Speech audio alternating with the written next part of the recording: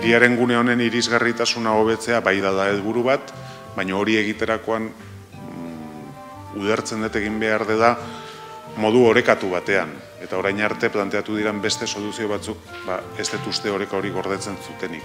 Oso e, interbentzio agresiboak planteatzen bait zituzten, ba, berezia dan gune batean, ez? Y creo que esta solución que se plantea, bueno, pues es una solución proporcionada y que además, bueno, puede mejorar la accesibilidad, que es lo que se busca, pero también preserva lo que es, pues todo ese entorno y toda esa urbanización de una forma correcta.